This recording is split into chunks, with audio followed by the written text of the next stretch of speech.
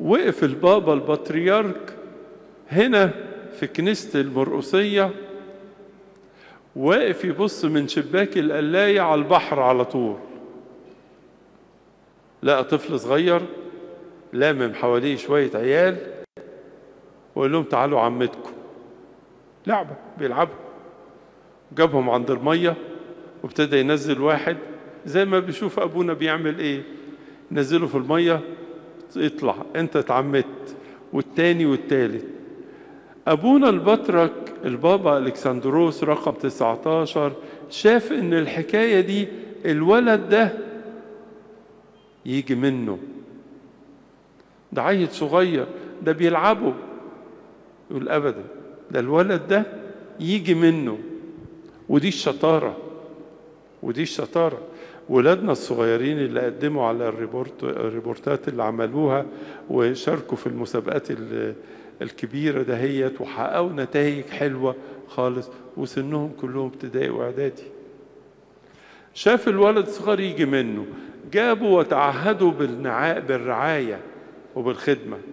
كانت النتيجة إن الولد الصغير ده بقى هو اثناسيوس الرسولي أعظم بطاركة الشرق. يا هو انت يا ابونا البطرك البابا الكسندروس شفت إيه؟ قال شفت ولد بيلعب. بس طريقة لعبه وطريقة توزيعه للأدوار مع أصحابه الصغيرين تقول الولد ده هيجي منه. هيجي منه. وفعلا طلع لنا أثناسيوس الرسولي إيه رأيك لو كان قال آه ده شوية عيال بيلعبوا. يا عم سيبك منهم. ده عاملين دوشة حتى. يضيع علينا قامات وخبرات ومواهب. فاعرف إن مفيش إنسان بدون موهبة. خالص.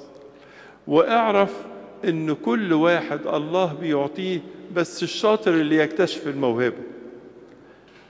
بتسمعوا عن فنان عالمي اسمه بيكاسو. بيكاسو قال عباره جميلة قوي. قال كل طفل يولد فنانا. لكن المشكلة كيف نحفظه فنانا؟ يعني هو بيتولد الطفل عنده فن. فمثلا الولد لو عمل شوية شخبطة كده رحت قايل له إيه الشخبطة دي يا ابني؟ عمره ما هيعرف يرسم بعد كده. لكن لو قلت له الله برافو وكتبت له واعطيته نجمة والحاجات التشجيعية الجميلة دي الولد تطلع فيه الموهبة. في مثلا طفل صغير يسمع إعلان أو موسيقى في التلفزيون تلاقي إيديه عمالة كأنه بيضرب موسيقى ودنه موسيقية. يقدر يحفظ الترنيمة بسرعة أو اللحن بسرعة. قوم أنت تغذيه بدروس في الموسيقى يطلع ودنه موسيقية ويطلع موسيقار ويفهم في الموسيقى وده علم كبير قوي وهكذا. لا يوجد أحد بدون مواهب.